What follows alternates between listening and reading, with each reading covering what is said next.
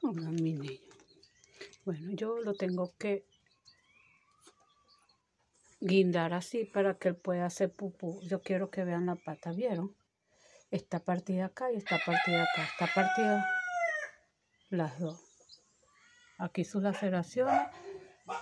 O sea, tengo que hacer eso. Miren cómo está la barriguita porque como está fracturado. Él empezó con una tetraplegia. Ahora tiene una tetraparesia. ¿Qué pasa? Que él está mejorando poco a poco. Lo tengo que guindar como él no tiene movimiento y su lesión para mí es más de fractura.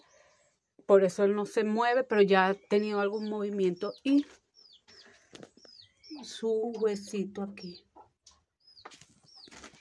Entonces, claro, yo lo guindo así. Anaco. Mi amor, mi amor, mi amor. ¿Qué pasa? Claro, no lo puedo apoyar. Ahí no está apoyado igual. Eso está porque para que haga su pupú. Después él hace pupú. Mi amor.